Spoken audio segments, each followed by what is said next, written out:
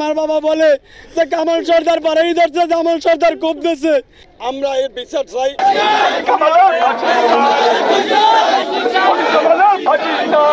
আমাদের দাবি, খুনি কামালের ফাঁসি চাই, খুনি কামালের ফাঁসি চাই। আমার বড় ভাইরে, সে নিজ নির্দিষ্ট মানুষ, তাকে সে নির্দিষ্ট নিখুঁত ভাবে পথে ধরিয়া কুপাইয়া তার মারা মারি ফেলাইছে। আমরা তাদের সবাই তার ফাঁসি চাই খুনিদের বিচার চাই খুনিদের ফাঁসি চাই।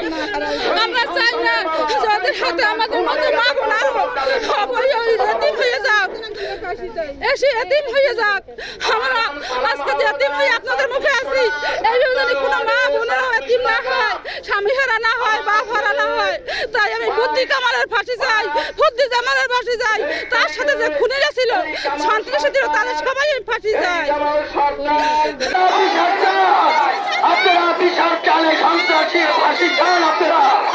সন্ত্রাসী একুশ আট আমার এই আমাদের স্ট্যান্ডে, আমাদের এই দোকানে আমার বাবা বসা।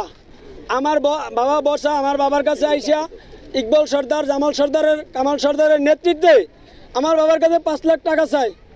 যখন আমার বাবা টাকা না দেয়, অসমৃদ্ধ করে, তখন আমার বাবারে গালাগাল করে। গালাগাল করার পরে আমাদের ওই পাশে একটা বাস কাউন্টার আছে বাস কাউন্টারের উপরে লাতালাতি করে। লাতালাতি করিয়া তারা অনেক ভয়ভীতি দেয়, হুমকি দিয়ে, প্রাণ হাসের হুমকি দেয়, যে রাতারাত্রির মধ্যে টাকা যদি না দাও, তাহলে কালকে তোর লাশ গুম করে এলাম এইটা আমার বাবাকে বলে। আমার বাবা রাত্রে আমাদের কাছে বলার পরে আমরা এলাকার দ্বারা আমরা এই মান্যগণ্য এবং স্থানীয় দ্বারা তাদের লগে পরামর্শ করি। করার পরে আমরা বাড়িতে যাই। সকালবেলা আমরা সবাই বাসায়। আমার বাবা সকাল আটটা, পনেরো থেকে বিশ মিনিট এইটা হবে এই টাইমে ওই যে সে খাসিরহাট বাজারে যাইতেছে। খাসিরহাট বাজারে যাওয়ার পূর্বে তারে মাছ রোড মেইন রাস্তার মাঝে মেইন রাস্তার মাঝে অটো থামাইয়া তারে নামাই ইচ্ছে মতো এলোপাতালি ভাবে কোপাইছে। আমার- আমার বাবার এলোপাতালি ভাবে কোপাইছে সবাই। হ্যাঁ, প্রকাশ্যে দিনে প্রকাশ্যে দিনে দুপুরে সবার সামনে মেইন রাস্তা রোড হাই রোড মেইন উপরে আমার ইচ্ছে মতন কি বলছে।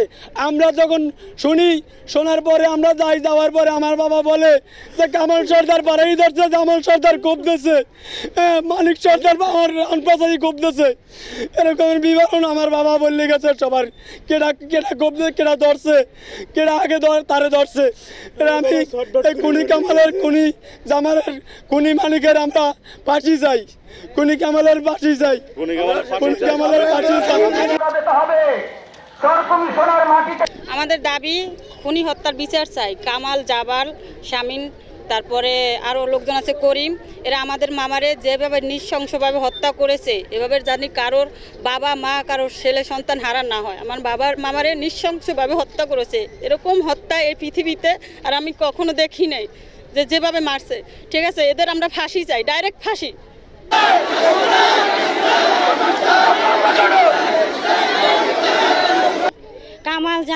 কামাল সর্দার, জামাল সর্দার, করিম সর্দার, ইব্রাহিম সর্দার, ইকবাল সর্দার, এদের আমরা ফাঁসি চাই। এরা আমার চাচাকে নির্মমভাবে হত্যা করেছে এবং এদের বিরুদ্ধে যারাই দাঁড়াবে, মেয়েরা হলে তারা নৃশংসভাবে ধ্বংস, দর্শন করতে পারে, তারা ই, খুন করতে পারে, তারা লুটপাট করে। ওরা এমনকি কোনো মেয়ে বা কোনো মা জাতি যদি হয়, তাদেরকে ওরা ধর্ষণ করে, ওরা নির্মমভাবে হত্যা করে ফেলে, এবং কি ওরা গুমও করতে পারবে। আমরা খুনি হত্যার ফাঁসি চাই। আমরা খুনি হত্যার ফাঁসি চাই। আমরা খুনি হত্যার ফাঁসি চাই। এলাকাবাসী জানে, ওরা কুখ্যাত একটা সন্ত্রাসী। আপনারা সবাই এই এলাকাবাসীর কাছে জিজ্ঞেস করেন, ওরা কুখ্যাত একটা সন্ত্রাসী। ওরা এলাকায় চাঁদাবাদি করে, ওরা স্টেশনে চাঁদাবাদি করে। আপনারা এই দোকানপাট, এই গাড়ি ঘোড়ায় আপনারা জিজ্ঞেস করেন যে ওরা কিরম লোক। ওরা প্রত্যেকটা গাড়ি থেকে ওরা চান্দা নেয়। কারণ ওরা হইল কুখ্যাত। কামাল সর্দার জামাল সর্দার এখন লাঠিয়াল একটা গ্রুপ আছে। এখন লাঠিয়াল একটা গ্রুপ আছে। এই গ্রুপটায় এই কাজবাজ করে। এই দেশের মানুষ সাধারণ মানুষ ওদের ভয়ে কথা বলতে পারে না। সাধারণ মানুষ নিস্তব্ধ হয়ে যায় ভয়ে কথা বলতে পারে না। মানুষ লাঞ্ছিত হয়ে যায়। এখন এখনও ওই ছেলের আট দশটা মামলা আছে। হ্যাঁ? ওই দিন আর ওই দিনকার কি ঘটছে? আমার ভাই বাজারে মেলা করছে। বাজারে মেলা করছে। বাজারে মেলা করার পরে মনে করেন তারে পথে বইয়া অটোওয়ালারও কুপাইছে।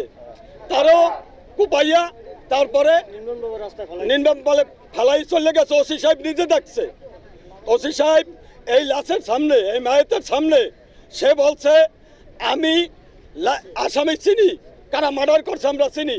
কারণ মার্ডার করার পরে ওসি সাহেব বরিশাল রওনা করছিল ওসি সাহেব তাদেরকে দেখছে।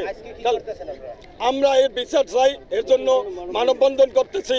এলাকাব্যাপী সবাই উৎসাহ হইয়া এই খুনির কামালের জামালের সবাই ফাঁসি চায় এই বলেই তো সবাই আলোচনা করতেছে। আপনারা সবার কাছে জিজ্ঞেস করেন যারা মানববন্ধনে আসছে এরা ইচ্ছাকৃত ভাবে এরা বাঁচতে চায় দেশের মানুষ বাঁচতে চায়।